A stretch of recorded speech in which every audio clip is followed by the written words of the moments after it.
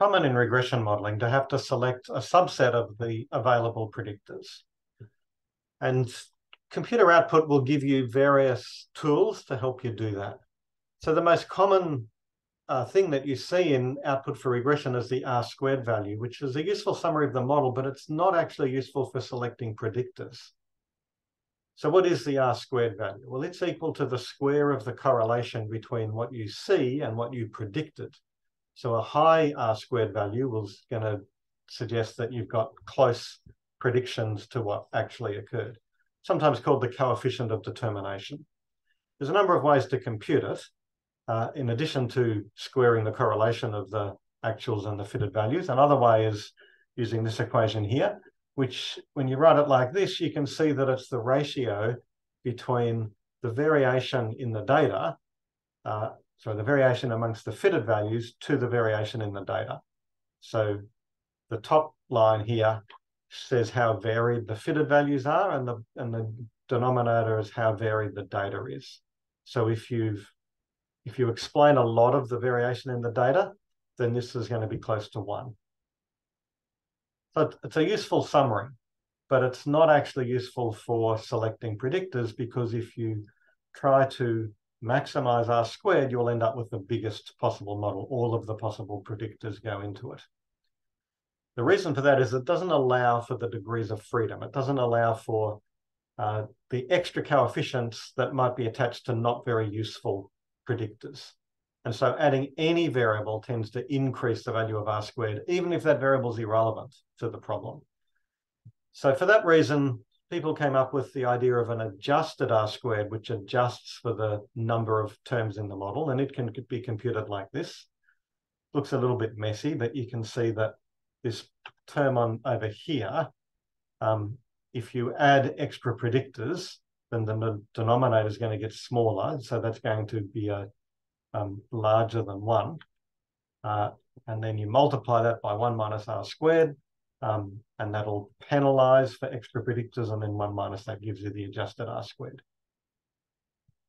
Um, it's actually equivalent, if you maximize the adjusted r squared, it's actually equivalent to minimizing the unbiased estimate of the residual variance, where you just sum the squared residuals and divide by t minus k minus 1.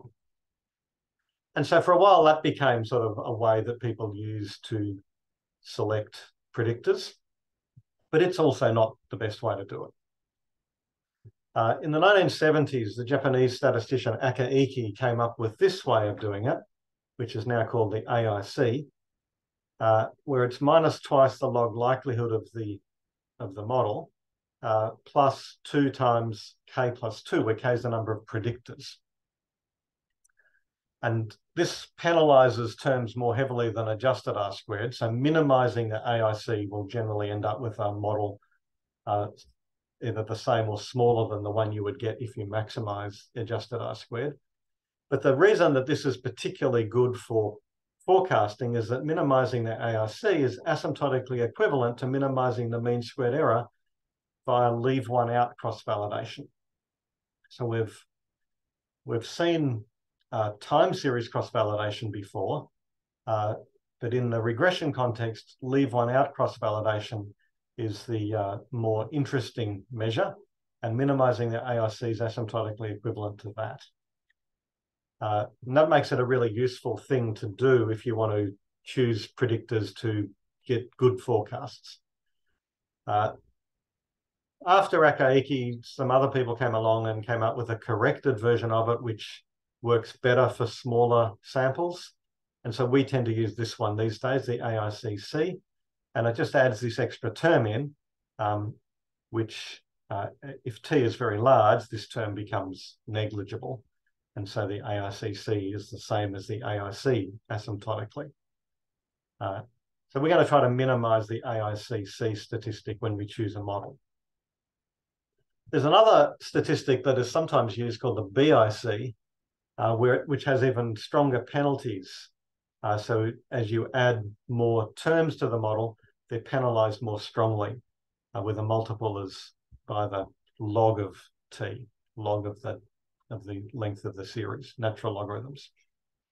Uh, that's sometimes also called SBIC the Schwarz Bayesian information criterion or just Schwarz criterion. And it turns out that minimizing BIC is asymptotically equivalent to another type of cross-validation where you leave a certain number of observations out and that number of observations given by that expression. The BIC tends to be popular uh, in econometrics in particular because if you minimize the BIC, then it's asymptotically will lead you to the correct model, assuming there is a correct model of the form you're looking at. That's not so interesting in forecasting because we're not we don't believe the data comes from a correct model. It comes from some complicated real world phenomena.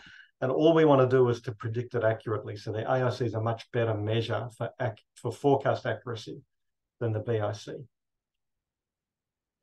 Uh, also, the nice thing about uh, leave one out cross validation in the regression context is that it's really, really fast to compute because you can do it in one go.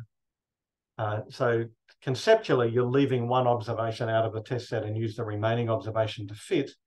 And you would think that means you have to fit you know, n uh, t different models where t is the number of observations.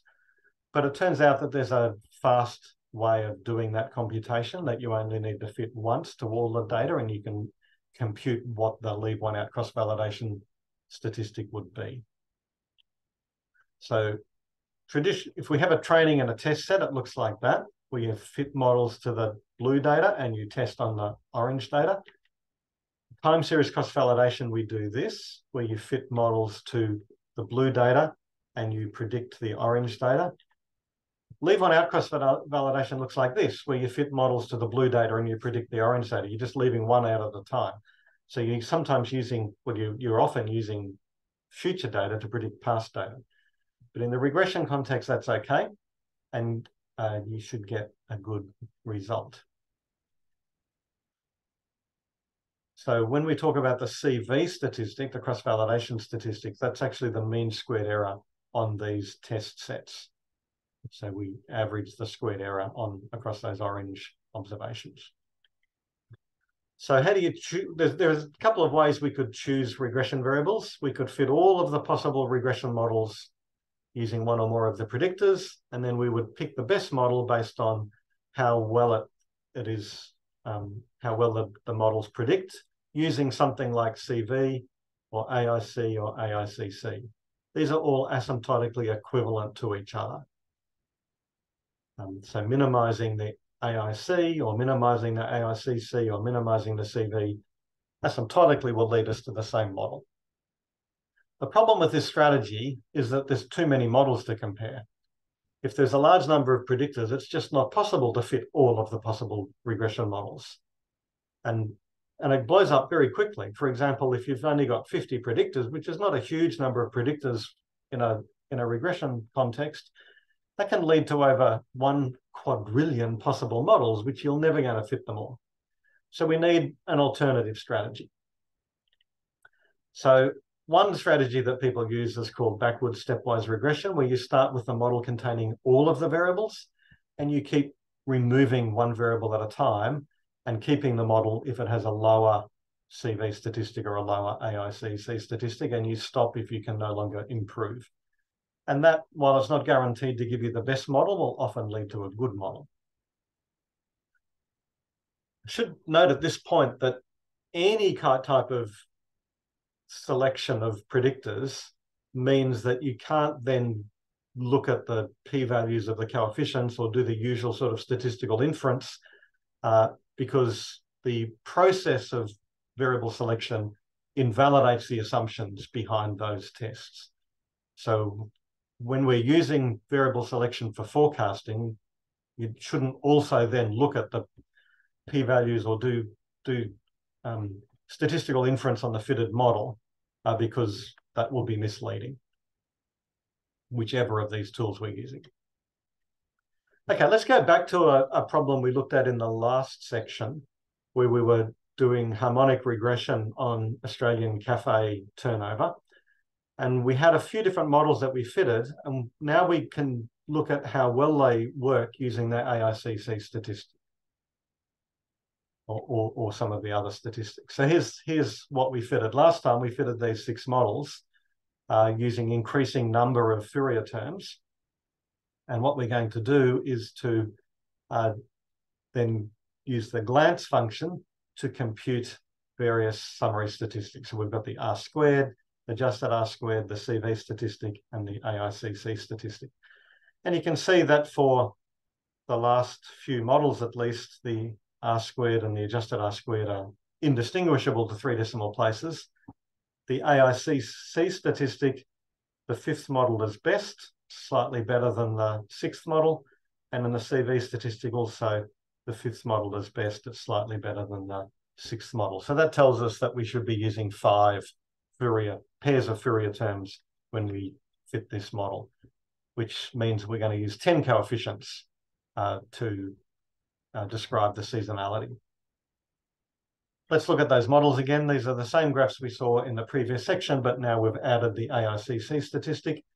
So that's minus 1085, minus 1099 is getting better, minus 1160. And as we increase K, AICC statistic is decreasing. There it's minimized. And if we add one more pair, it gets worse and the shape doesn't change much. So the extra parameter is not working. And that gives us the best model for this particular um, set of predictors.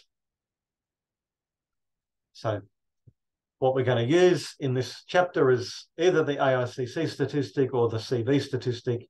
We're going to minimize it to select the best set of predictors. But always remember that once you've done that, you can use the model for forecasting, but you can't use the model for statistical inference.